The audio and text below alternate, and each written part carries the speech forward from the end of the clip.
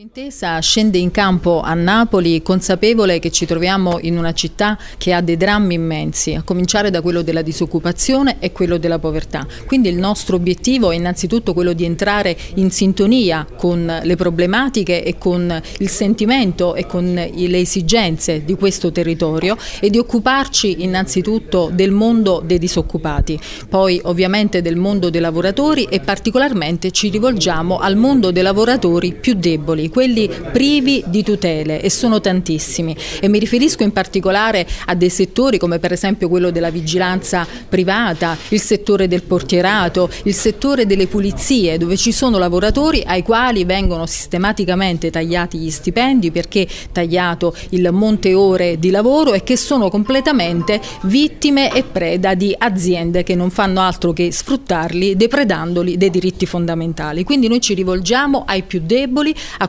privi di tutela, ci rivolgiamo al mondo dei pensionati che rappresentano una grande, grande risorsa per il nostro territorio, vogliamo essere il sindacato dei lavoratori, non il sindacato dei sindacalisti di professione, vogliamo recuperare la fiducia di un mondo del lavoro che dal piano nazionale a quello territoriale ha subito una sottrazione di diritti fondamentali. Ci poniamo quindi in, come una innovazione di modello sindacale che mette al centro soprattutto le categorie e il territorio. yo.